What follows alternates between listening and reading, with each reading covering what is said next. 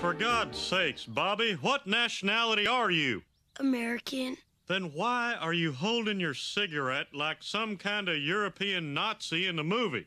For reference, um, they let Joe Martin drink alcohol and smoke cigarettes regularly. In fact, Nice. on one occasion, they Shout made out. him they made him smoke so many cigars for a movie scene that he became like uh, violently sick, Oh, that's not good.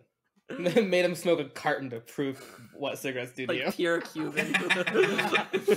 Boy, if you want to smoke cigarettes, I'll let you smoke cigarettes. that fucking King of the Hill scene.